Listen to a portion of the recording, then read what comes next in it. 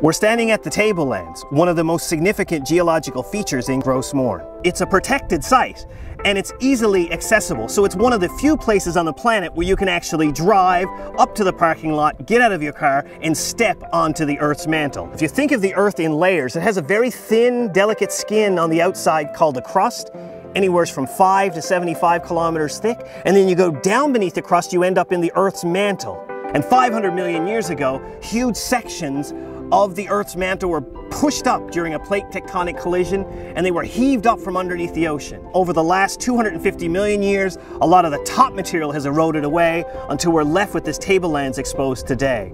Well, here's a piece of peridotite. When it comes up to the surface, it changes into this reddish brownish color rock, and it's because of the iron content in the rock. When the iron is exposed to the air at the surface, it rusts away. So the tablelands is slowly rusting away. Scientists today have a better understanding of volcanic activity and tsunamis and earthquakes because of a lot of the early work that was done right here in Gros Morne National Park. So you can smell the rocks, uh, you can lick the rocks, you can listen to the rocks, but you can't take the rocks. I just found some white rock that's I don't know what it is. What is that? I have no idea. We wouldn't even, we wouldn't even show. Yes.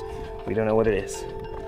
Who knows what it is, right? You, you end up finding this landscape has been heavily glaciated over the millennia and glacial material have been scraped and scoured and deposited all over this landscape. So every now and then you come up with a piece of rock that's totally bizarre and out of context. And what is it? I don't exactly know. But I'm sure we have somebody here who works for Parks Canada that knows what this is. The landscape here in Gros Morne is not typical of the landscape that you would find around our province. People come here because they want to have a unique experience with the land. You'd think this was a desert. You'd think this belongs somewhere in the southern US, but it's got nothing to do with the desert. And it's an amazing, cool, interesting geological story.